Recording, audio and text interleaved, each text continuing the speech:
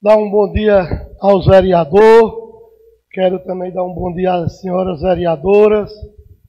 No dia de hoje, eu quero mandar um alô aí para a Rua da Alegria, para nosso amigo aí, Valdênio da, da Borracharia, que toda quarta-feira ele também está lá com seu radinho ligado, ouvindo a nossa reunião. Quero mandar um, um grande abraço para todos lá da Rua Nova. Quero mandar um forte abraço para todos lá do Sudré, Sítio Loca, Sítio Poeira. Quero mandar um grande abraço lá para as Cabaças, Sítio, Sítio Jurubeba, Cantinho, Mancambira, Muzelinha, especialmente para o Minador. Quero mandar um forte abraço para aquele pessoal lá da Mandiçoba, Sítio Funa, aqui o Açude das Capoeiras. Um grande abraço, nosso amigo velho, Luizinho, Adriano, Zé de Moisés, enfim, todos que estão aí ouvindo a reunião todas as quarta-feiras. Hoje é a quinta, mas sempre é nas quarta-feiras. Quero mandar também um forte abraço para a dona Lúcia, que toda quarta-feira, a mãe de Lúcio, né? Que toda quarta-feira ela está ouvindo a nossa reunião. Quero lhe agradecer, dona Lúcia, pela sua atenção e pela sua boa vontade de ouvir a nossa reunião. E no dia de hoje, eu quero começar o meu discurso falando, agradecendo ao secretário, ao nosso prefeito, ao Exército Brasileiro, por ter começado a distribuição de água. Foi uma luta grande, com muitas dificuldades, muitos documentos, mas começou, graças a Deus, e eu quero agradecer aqui ao prefeito Alexandre Batité, quero agradecer ao Exército Brasileiro, quero agradecer ao secretário Carrinho pela atenção, pelo esforço, pela correria para que o povo da zona rural tivesse essa vitória. Uma vitória, que essa vitória é de todo mundo. A gente, ontem, no dia de ontem, eu estava olhando a rede social e estava olhando um vereador que tanto criticou, que tanto falava aqui, tirando foto, selfie com o caminhão do exército. Que vereador cínico. Esta obra é do governo federal, é do exército brasileiro. O prefeito é Alexandre Batité. Tem que aceitarem. Vereador lá fazendo selfie com o caminhão do exército. Mas, meu Deus do céu, que desespero. O vereador se esqueceu de trabalhar os outros anos. Aí chega no ano da política, quer tomar proveito de uma obra que um prefeito, o secretário do Exército Brasileiro trouxe para o povo de São Bento do Una. E isso não é basta a gente ver o grupo político que esses vereadores defendem, que eles fazem parte, eles são o prestador de serviço aqui do empresário. Na verdade, eles exercem um cargo de vereador, mas eles são prestador de serviço desse empresário milionário que agora colocou uma equipe, uma equipe de babão, de chaleira, de pessoas que não têm compromisso com o povo, Pachequinho.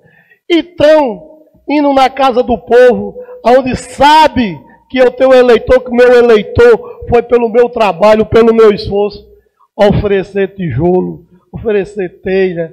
Se quiser fazer reforma de casa, pegue, mas não vote nesse vereador pezinho que esse vereador fala muito do nosso grupo.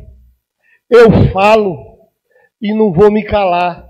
Só como diz o vereador Rinaldo, só se eles mandarem me matar.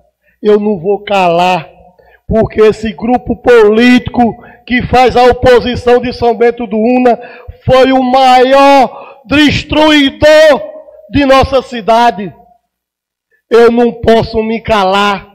Aqui eles estão fazendo a oferta para pré-candidato de 50 votos, Pachequinho, oferecendo 100 mil reais, oferecendo 50. Tem vereador que eles ofereceram 300 mil reais de ultimamente. Eu não acredito, Pachequinho, que um grupo político desse, que um, prefe... um candidato a prefeito desse, pensa em comprar a consciência do povo de São Bento, ele não tem boas intenções com o povo. Ele está pensando em destruir o que um prefeito vem fazendo por esses três anos, Pachequinho. Uma pessoa que oferece 300 mil reais a um vereador, ele está pensando em ganhar e vir destruir a casa de apoio que é do povo pobre de São Bento do Una. É o maior, o melhor prédio do município que fica na cidade de Recife, que acolhe aqueles que precisa que vai cuidar da sua saúde lá em Recife. É isto que esse empresário está pensando. Pachequinho, ele pensa em ganhar e tirar novamente o direito dos agricultores de não ter mais arações de terra, ou colocar seus lambibota para chicotar os homens e as mulheres da zona rural. Eles pensam em comprar, em gastar muito dinheiro para tirar o direito das crianças deficientes de São Bento, fechando a Casa Judite Medeiro. Eles pensam também, Pachequinho, em acabar com a cozinha popular, que está tirando a fome de quem tem, que eles nunca tiveram um trabalho social em nossa cidade para beneficiar nenhum pobre. Eles, quando terminam as eleições, eles vão lá, tranca as barragens, fecha as balanças para não fazer benefício a ninguém de São Bento do Una. Aí quando chega na véspera da eleição, fica oferecendo fortunas a um e a outro. E sempre eu digo, Pachequinho, comprador de voto é muito fácil. Tem em todas as esquinas. Agora liderança é difícil. Está com oito anos que esse empresário, a filha dele, era candidata à reeleição foi a pior prefeita da história de São Bento do Una. E eles, por as pesquisas tá muito ruim, foram, se uniram aos empresários de São Bento, porque quando o povo de São Bento não conhecia outro prefeito, sempre acompanhava esse grupo político ruim de São Bento do Una.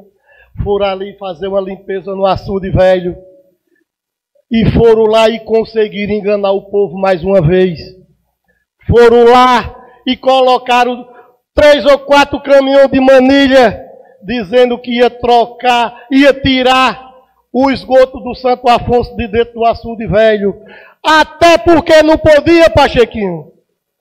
Tinha que fazer um, um, um, um tratamento do esgoto, um tratamento sanitário, que aquele esgoto não pode ser jogado dentro do rio. Mas ele estava afobado tentando enganar o povo, querendo iludir o povo e iludiram. Foram lá ali para o açude velho, mas quando terminou as eleições, cinco horas da tarde, no outro dia de manhã, as manilhas sumiram. E até a data de hoje, aí eu pergunto a esses lambibota, esses vereador que presta serviço a esse comprador de voto de São Bento vem aqui, daqui a pouco, e explicar ao povo e diga onde é que estão essas manilhas que vocês enganaram o povo mais uma vez no ano de 2016. Tentaram de novo em 2020 e quebraram a cara. E agora estão desesperadamente correndo aí em todos os lugares, oferecendo fortuna a vereador e a pré-candidato. E esse vereador ontem recebeu um morador da zona rural e disse, Pezinho, foram lá em casa e me ofereceram tudo, que é para não votar em você. Mas eu não vou pegar não, eu vou continuar votando com você, porque você passou quatro anos visitando eu e procurando ajudar o povo daquela região. Nesse ano de 2023, eu fui uma pessoa que consegui, junto com a associação, fazer mais de 30 poços artesianos para o homem do campo e para a mulher do campo. É isso que esse grupo político não quer que dê mais continuidade, Pachequinho. Por isso que estou oferecendo fortuna aos meus eleitores, que eu não possa votar em 2025 nessa casa. Mas eu não estou preocupado, Pachequinho. Vou continuar trabalhando, vou continuar lutando e abraçando a candidatura de um prefeito que mais fez por a nossa cidade. Não tem uma obra que ele não começou e não concluiu. Passaram oito anos enrolando o povo de São Bento com uma barragem lá na terra do pai da, da deputada e não conseguiram. Vou finalizar minhas palavras, porque aqui falar a verdade é bom demais. O tempo passa que a gente não vê. Mas na, na próxima quarta-feira eu vou dar continuidade, mostrando ao povo de São Bento do Una que quem faz e quem abraçou o povo de São Bento foi Alexandre Batité. Valeu e muito obrigado.